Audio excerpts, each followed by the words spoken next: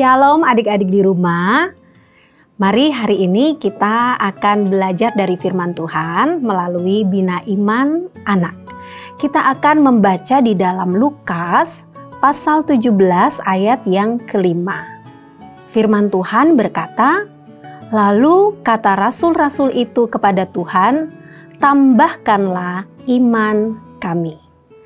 Nah hari ini Kak Yanti akan mengajar kepada adik-adik semua supaya kita bisa memiliki iman yang terus bertumbuh, yang terus bertambah dari hari ke hari.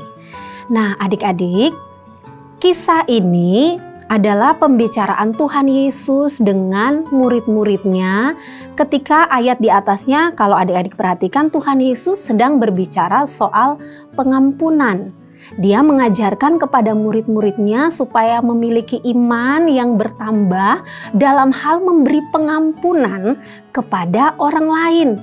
Di ayat sebelumnya berkata, Jikalau ia berbuat dosa terhadap engkau tujuh kali sehari dan tujuh kali ia kembali kepadamu dan berkata aku menyesal, engkau harus mengampuni dia.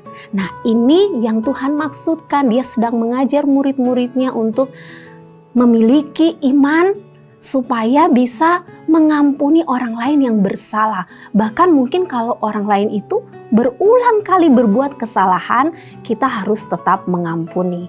Lalu rasul-rasul ini berkata, tambahkanlah iman kami. Atau mereka berkata dalam bahasa kita, Tuhan kami perlu iman yang lebih besar untuk bisa mengampuni orang lain, untuk bisa selalu melakukan apa yang Tuhan katakan. Nah, adik-adik di rumah, kita juga belajar ya. Mungkin dalam hidup kita satu hal yang Tuhan mau supaya kita lakukan adalah terus mengampuni. Siapa yang perlu kita ampuni?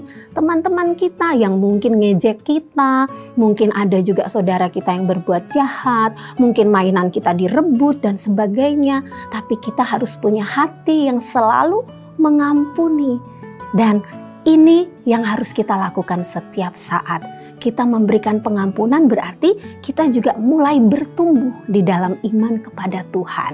Hari ini mungkin sekali mengampuninya, besok lagi tambah lagi, tambah lagi, tambah lagi. Hati kita semakin besar untuk memberikan pengampunan, iman kita terus bertumbuh dan kuat di dalam Tuhan. Amin.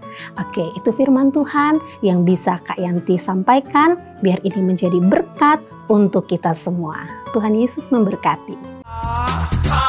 Say M, say